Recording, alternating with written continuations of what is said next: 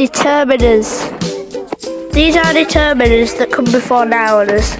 I bet you're wondering what actually a determiner is. A determiner is a word that occurs together with a noun and a noun phrase.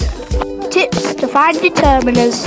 Look at this sentence. The way to find the determiner is to find the noun and then look at the word before the noun. Then you found the determiner. The determiner is the.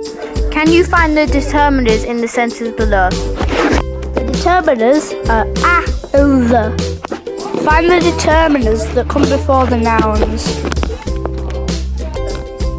The determiners are our and three. Did you get them right? Thanks for listening.